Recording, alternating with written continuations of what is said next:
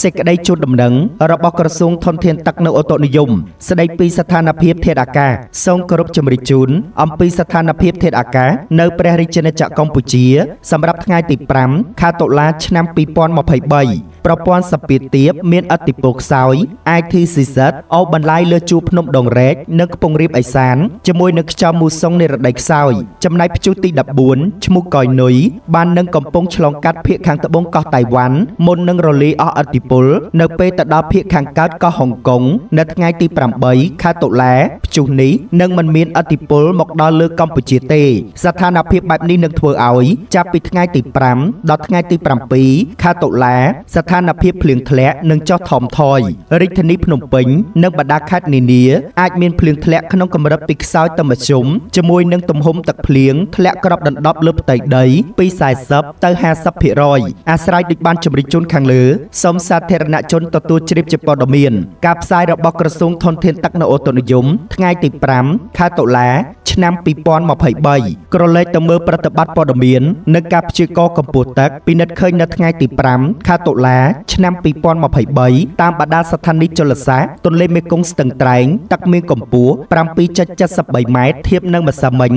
7.96ម៉ែត្រចុះ0.23ម៉ែត្រកម្រិតប្រកាសអាសន្ន10.70ម៉ែត្រទន្លេមេគង្គក្រចេះទឹកមានកម្ពស់18.57ម៉ែត្រធៀបនឹងម្សិលមិញ18.92ម៉ែត្រចុះ0.35ម៉ែត្រកម្រិតប្រកាសអាសន្ន22ម៉ែត្រទន្លេមេគង្គកំពង់ចាមទឹកមានកម្ពស់12.50ម៉ែត្រធៀបនឹងម្សិលមិញ12.61ម៉ែត្រចុះ0.11ម៉ែត្រកម្រិតប្រកាសអាសន្ន15.20ម៉ែត្រទន្លេបាសាក់ចតុមុខទឹកមានកម្ពស់8.15ម៉ែត្រធៀបនឹងម្សិលមិញ8.17ម៉ែត្រចុះ0.02ម៉ែត្រកម្រិតប្រកាសអាសន្ន10.50ម៉ែត្រទន្លេមេគង្គអ្នកលឿងទឹកមានកម្ពស់5.95ម៉ែត្រធៀបនឹងម្សិលមិញ5.95ម៉ែត្រស្មើនឹងម្សិលមិញកម្រិតប្រកាសអាសន្ន7.50ម៉ែត្រទន្លេបាសាក់កោះខែទឹកមានកម្ពស់7.14ម៉ែត្រធៀបនឹងម្សិលមិញ7.12ម៉ែត្រឡើង0.02ម៉ែត្រកម្រិតប្រកាសអាសន្ន7.90ម៉ែត្រទន្លេសាបព្រែកក្តាមទឹកមានកម្ពស់7.25ម៉ែត្រធៀបនឹងម្សិលមិញ7.21ម៉ែត្រឡើង0.04ម៉ែត្រកម្រិតប្រកាសអាសន្ន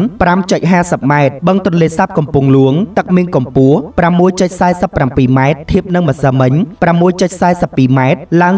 0.05ម៉ែត្រទាំងនេះជាការផ្ដល់ជូនរបស់ក្រសួងធនធានទឹកនៅអូតូនិយមស្ដីពីប្រតិបត្តិព័ត៌មាននិងការព្យាករណ៍កម្ពស់ទឹកពិនិត្យឃើញនៅថ្ងៃទី5ខែតុលាឆ្នាំ2023តាមបណ្ដាស្ថានីយជលសាស្ត្រដូច្នោះសម្រាប់លោកអ្នកដែលរស់នៅតាមតំបន់ជួរមាត់ទន្លេសូមប្រុងប្រយ័ត្នចំពោះបាតុភូតធម្មជាតិនិងតាមដានជាមួយនឹងការព្យាករណ៍របស់ក្រសួងធនធានទឹកនៅអូតូនិយមស្ដីពីស្ថានភាពធាតុអាកាសនៅកម្ពុជាសូមកុំភ្លេចចូលទៅទស្សនាវីដេអូពី Channel របស់ខាងខ្ញុំបាទសូមកុំភ្លេចចុច Subscribe និងរូបកណ្ដឹងដើម្បីទទួលបានវីដេអូថ្មីៗជាបន្តបន្ទាប់ខណៈនេះខាងខ្ញុំបាទសូមអរគុណនិងសូមជម្រាបលា lia